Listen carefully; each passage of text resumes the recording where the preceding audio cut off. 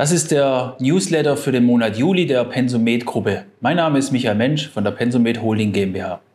In diesem Newsletter möchten wir drei Punkte dieses Mal anführen. Auf der einen Seite, es wird Veränderungen geben hinsichtlich der Lohnabrechnung, die wir nicht mehr versenden werden, sondern sie online abrufen können. Das zweite ist das Energiegeld, das im September kommen wird. Und das dritte ist der Corona-Bonus.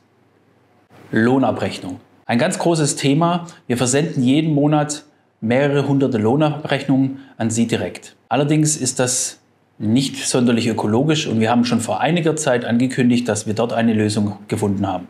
Unser Softwarehersteller Landwehr oder jetzt dann Swoof hat ein Portal, wonach wir im Internet diese Lohnabrechnung zu jeder Zeit, von egal wo Sie sind, abrufen können. Sie erhalten diesbezüglich ein Schreiben von uns, wonach Sie mit Ihrer Personalnummer und Ihrem persönlichen Kennwort sich dort anmelden können. Wenn Sie dort Schwierigkeiten haben oder das Passwort abgelaufen ist oder Sie Unterstützung benötigen, rufen Sie uns gern hier in der Holding an. Wir unterstützen Sie. Das Energiegeld. Die Bundesregierung hat sich für 2022 aufgrund der politischen Lage und den Preisschock am allgemeinen Energiemarkt dazu entschlossen, jedem Arbeitnehmer ein Energiegeld von 300 Euro zu bezahlen. Bitte beachten Sie, das Energiegeld ist steuerpflichtig, aber sozialversicherungsfrei. Das Geld muss mit seinem persönlichen Steuersatz auf der Lohnabrechnung versteuert werden. Allerdings, des Weiteren ist zu beachten, das Energiegeld bekommen Sie natürlich nur einmal, entweder in Ihrer Hauptbeschäftigung bei uns oder in einem Nebenjob woanders.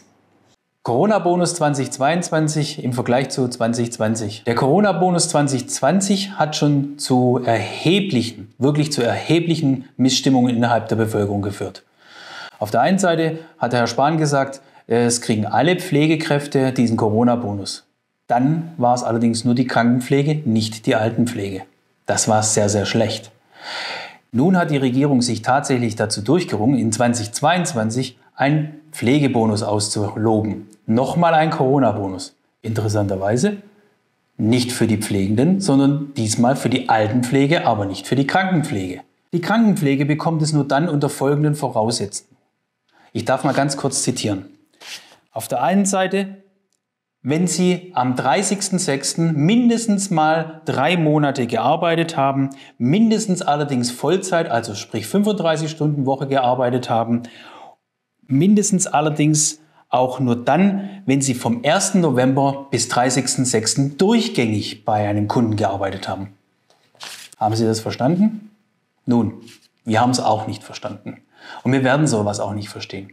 Immer dann, wenn die Politik wirklich eine gute Idee hat, und das war eine gute Idee, kommen unsere Bürokraten und verändern das so und machen das so kompliziert und so intransparent, dass keiner weiß, was zum Schluss tatsächlich dabei rauskommen soll. Wir haben uns bei der Pensumet-Gruppe dazu entschieden, diesen Irrsinn nicht mitzumachen. Es bekommt jeder von unseren Mitarbeitern, die beim Kunden eingesetzt werden, diese 550 Euro Corona-Bonus. Gestaffelt und jetzt kommt's nach der Arbeitszeit. Weil dieser Corona-Bonus hätte nicht für Mitarbeiter, die weniger als 35 Stunden arbeiten, ausgelobt werden sollen.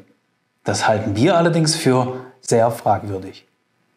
Mitarbeiter bekommen 550 Euro bei einer 35-Stunden-Woche. Sie bekommen bei 130 Stunden im Monat 423,06 Euro, bei 108,33 Stunden 352,55 Euro. Das bedeutet, wir werden den Corona-Bonus Ihrer Arbeitszeit anpassen. Aber wir werden ihn auszahlen. Und zwar konsequent. Und zwar so, wie es die Politik hätte machen sollen. Mein Name ist Michael Mensch von der Pensumet Holding GmbH.